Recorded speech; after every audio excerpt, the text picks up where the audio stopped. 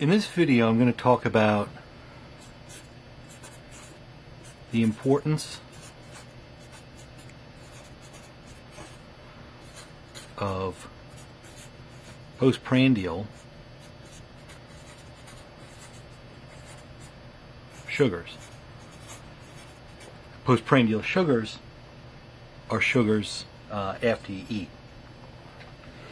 There are two general types of sugars that we can talk about in the body. We'll go back to this curve that we've used before.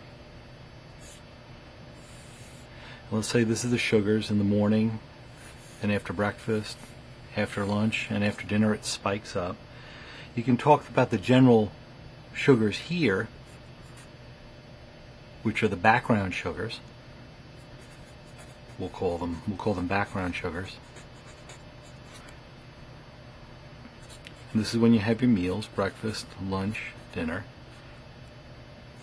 And we'll call these sugars the after meal sugars, or postprandial.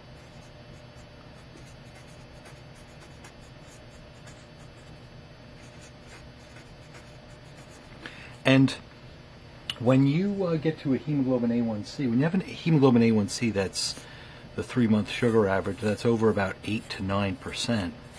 Most of the contribution, a majority of the contribution to the sugar highness when you have diabetes is from the background sugars. But when the sugars get into a better range, and let's just say generally below 8%, most of the sugar highness comes from the postprandial sugars. So when we're trying to get the A1C down, and let's say the hemoglobin A1C is in the 7, 7.6, 7.8, 7.2, anything below 8 really, sometimes the most effective attack point to go after, to lower the sugars, is to go after these postprandial spikes. Uh, now there are a number of different ways that you can go after these postprandial spikes.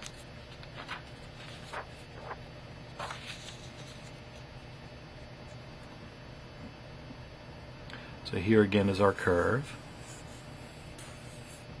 And of course you can go after it with uh, diet.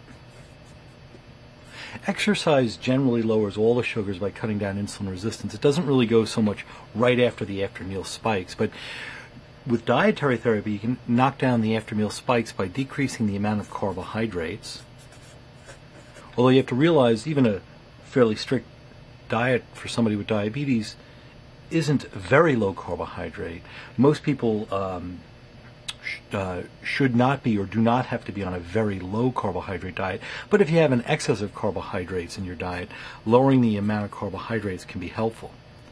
But also lowering the glycemic index of the carbohydrates you're eating.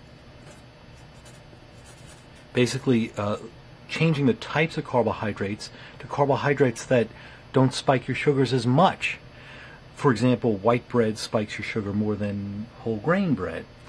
Uh, and there are other examples of that. So if you're having a lot of high glycemic index carbs, let's say a lot of white bread, if you shift that over more towards whole grains, that'll tend to knock down these spikes uh, also. Of course, there's certain medications that can go after the spikes. Some of the pills include the drug Starlix and the drug Prandin.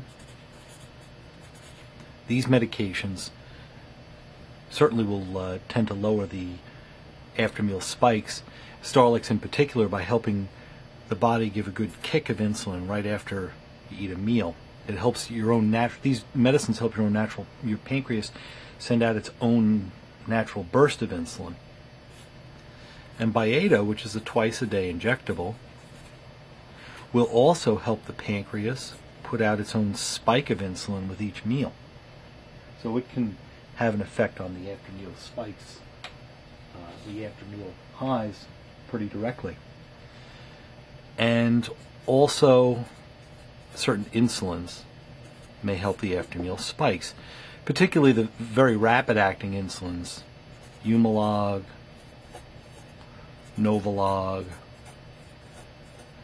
Apidra, which are all fairly comparable to each other. They're all pretty similar. And these medications, these insulins, may be given before every meal, or sometimes just a shot before the largest meal, like dinner. For many people, is the largest meal. So, a shot of one of these before meals, before the biggest meal, may blunt out this spike, and it may help lower the hemoglobin A1C. Or they're mixed insulins that include some of these, and those sometimes, when given before meals, um, may have a similar effect, or at least part of their effect will be to help knock down the after meal spikes.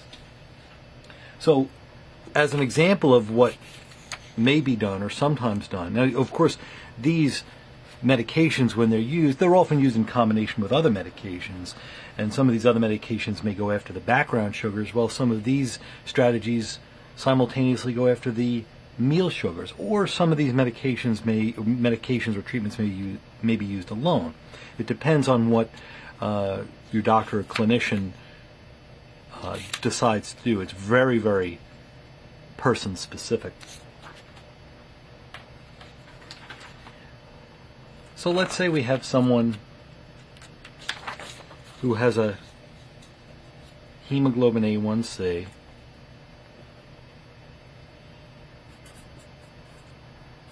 let's call it 7.4%. We're trying to get this, let's say, in this person at least below 7. And you have the breakfast spike, lunch spike, dinner spike. And, you know, so there are a number of strategies. We could have a person cut down the glycemic index of their carbohydrates with each meal. We could have them lower the amount of their carbohydrates with each meal. We could add on the drug Starlix or Prandin, Starlix, Starlix,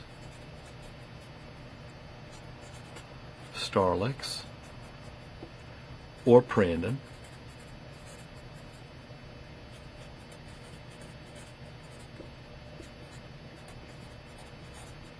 to knock down these spikes.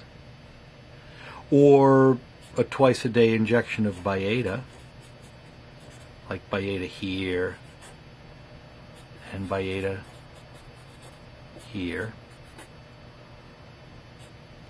or adding on a shot of um, insulin before the biggest meal, like Humalog, or before every meal, Humalog, Humalog, Humalog, for example. And again, going after these after meal spikes, the hemoglobin A1C is in this pretty good but not perfect range. It's below 8. In this range, the most effective strategy for knocking down the hemoglobin A1C may be going after the after meal spikes. So using some of these postprandial uh, attack strategies uh, might be the most effective way to knock that hemoglobin A1C down further. And again, it's very, very person specific and case specific.